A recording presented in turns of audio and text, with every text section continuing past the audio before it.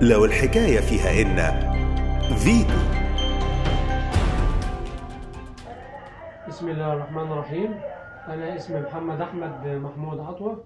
حاصل على لسانس حقوق عام 2011 وخدت دبلومة في العلوم الإدارية ثم بعد ذلك دبلومة في التنمية البشرية وعملت ماجستير في القانون العام عام 2015 وطبعا حضرتك بنطالب بس بالرئيس يحب أبسط حقوقنا اللي هي إن إحنا نتعين بس مش أكتر في الحكومة.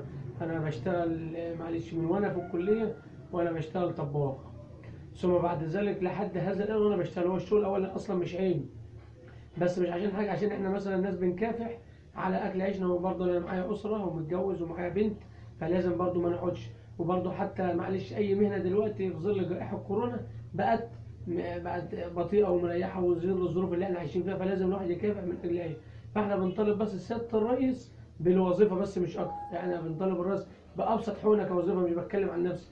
دفعه من 2015 لحد 2020 لحد هذا الآن مفيش حد اتعين وكل الناس اللي اتعينت بالوظيفه إحنا بس بأبسط حقوق يا ريس بنستسمحك بأبسط حقوقنا اللي هي وظيفة.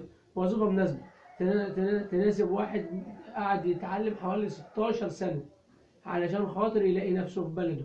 ما هوش يسافر بره ولا يتغرب ولا ولا الآخر ومعظم الناس اللي زمايلنا كلهم كل واحد شغال في مهنة واللي شغال في حرفة واللي, فإحنا بنطلب حقوقنا راس وهي وظيفة تناسب تناسب تناسب واحد معاه ماجستير سواء في القانون في التربية في في كتير. زي ما أنا مش بتكلم عن نفسي بس بتكلم عن دفعة بأكملها من 2015 لحد 2020 وأتمنى نكمل المسيرة. حلمنا كلنا راس وظيفة تناسب مؤهلنا العلمي. وشكرا سيادة الرئيس. فيتو